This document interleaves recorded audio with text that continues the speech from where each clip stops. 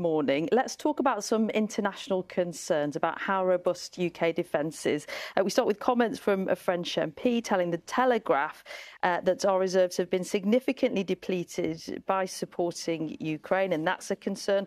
Also, reports in the German media, backed up by the MOD sources in the UK, saying that NATO has asked Berlin to remain in charge of uh, the leadership of the Rapid Reaction Force because we're not capable of taking control. How are we supposed to react to those criticisms?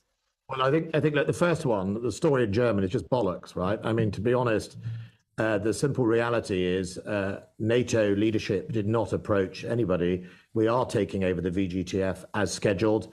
Uh, and it's interesting that, that story is based on a source on a German website you and I have never heard of. So look, there's a lot of stories out there that I just don't think are particularly true. Uh, yes, the only thing that is, is, is key here is to make sure that our forces are at readiness uh, and our forces are modernised. And on that subject, I've been very clear that you know defence for the last 30 years was hollowed out. Um, and we needed to address that. That's why we got 16 billion pounds extra and a 24 billion pound increase in 2020, and we're going to spend 34 billion pounds modernising our army between now and 2032. Uh, that is absolutely true, but we're not uh, any less ready than others. Uh, we just have to make sure we start getting back to investing in defence properly. And what does that mean?